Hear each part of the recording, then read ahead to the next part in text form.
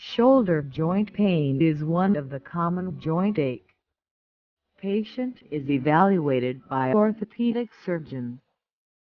Initial radiological and lab studies suggested are X-ray, MRI, ultrasound and blood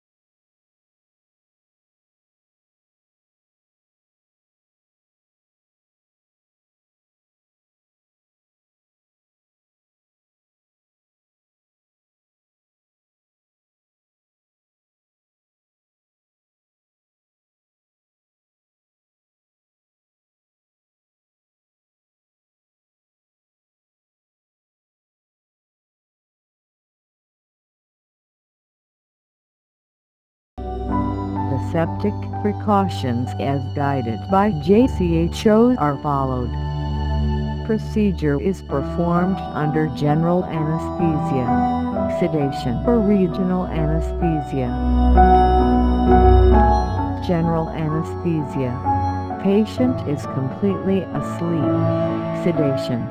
Patient receives intravenous sedation and local anesthesia. Regional anesthesia is known as cervical plexus block.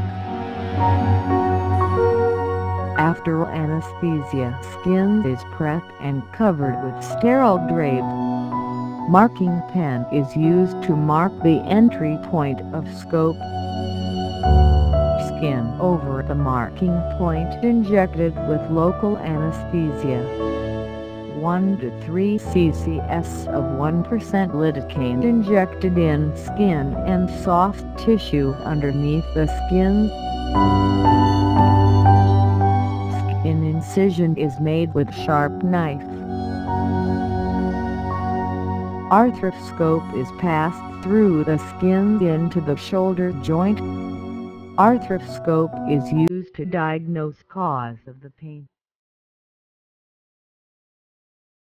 Diagnostic arthroscopy of shoulder joint is done to identify the following causes of the shoulder pain.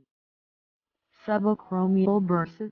The bursa is observed through arthroscope. Needle is passed into bursa and synovial fluid is aspirated. Deflation of bursa results in pain relief. Supraspinatus tendonitis Inflammation of supraspinatus ligament causes severe pain. Arthroscopic examination of tendon confirms the diagnosis. Severe pain caused by joint impingement shoulder joint capsule when pinched under acromion causes severe pain. Diagnosis is confirmed by arthroscopy.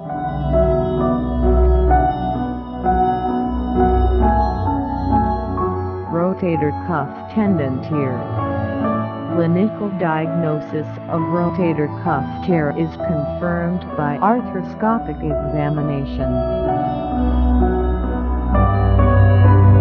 Biceps tendonitis. Inflammation of biceps tendon causes severe pain and restricted shoulder joint movement of the inflamed tendon which is observed under the scope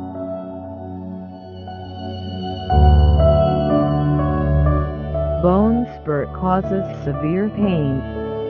Bone spur often is difficult to diagnose with X-ray or MRI. Arthroscopic examination confirms the presence of bone spur. Inflamed loose cartilages are observed in advanced osteoarthritis and rheumatoid arthritis of shoulder joint.